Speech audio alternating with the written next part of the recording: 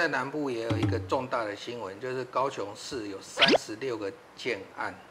它一个月的销售量是零，所以基本上就三是十六个建案，对高雄市按照房屋税局来讲的话，那其实有七十万个台湾人，他持有都超过一户以上的房子，然后十户以上的也是大有人在，所以我们曾经在南部看到的新闻就是说，透天刷整排，就是买整排的。还是那句老话，就是说，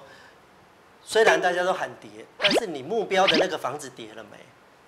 因为你要买房子，你想买的那间跌了没有？对，有一个危机就是为什么建商不持续的去申请建造了？因为建要有建造才会有开工，开工到最后啊建完之后才会有使用执照。所以建商自己也当大马的第二了。，对，也缩手了。那他其实比较主要的原因就是他不急着清理，再来就是未来茫茫